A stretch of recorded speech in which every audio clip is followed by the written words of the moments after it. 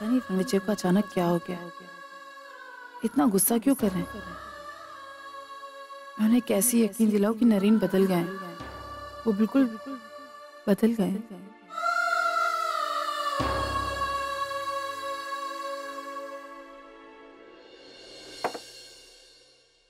Narine साहब, यहाँ क्या कर रहे हैं? नरीन साहब, आप यहाँ क्या कर रहे हैं? नरीन साहब प्लीज़ बाहर जाइए। आप नरीन साहब मेरी होने वाली बीवी की हल्दी है ना? तो उसे हल्दी लगाने आया। नरीन साहब प्लीज़ आप यहाँ से जाइए। मेरी हल्दी रणविजय के साथ है आप मुझे हल्दी नहीं लगा सकते प्लीज़ हल्दी भी मैं लगाऊँगा। और तुम्हारी शादी भी मेरे साथ होगी। इनसे नहीं हो सकता है। होगा। नरीन साहब रणविजय के मुझ पर बहुत एहसान है। मैं उसे मैं प्यार हर एहसान से बड़ा होता है। तुम देखना।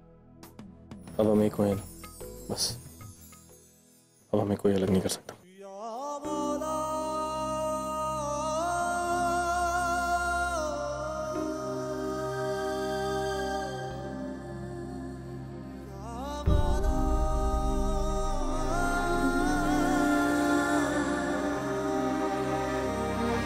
क्या बोलते हैं?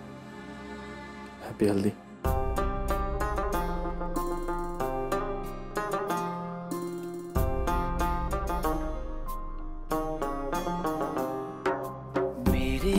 हाथ में तेरा हाथ हो, सारी जन्नतें मेरे साथ हो। मेरे हाथ में तेरा हाथ हो, सारी जन्नतें मेरे साथ हो। तू जो पास हो, फिर क्या ये जहाँ तेरे प्यार में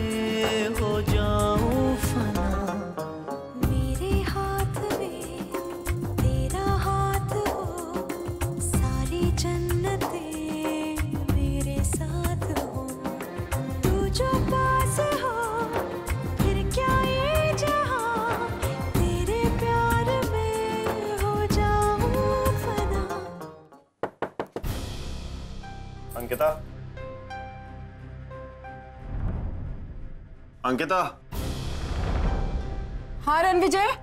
अंकिता जल्दी नीचे आ जाओ सब लोग इंतज़ार कर। रहे हैं। मैं दो मिनट में आई। मैं चेंज कर रही हूँ। ठीक। सब प्लीज़ आप यहाँ से जाइए। मैं जाने के लिए नहीं आया। ऐसे रूम में आके तो आप हल्दी लगा सकते हैं। लेकिन लेकिन सबके सामने हल्दी लगा के बताइए तो मैं मानती हूँ। ठीक है। सबके सामने हल्दी क्या मैं शादी करके दिखाऊँगा ओके? शादी वादी होती रहेगी। पहले हल्दी लगा के दिखाइए। जाइए। ठीक। है नीचे हैं।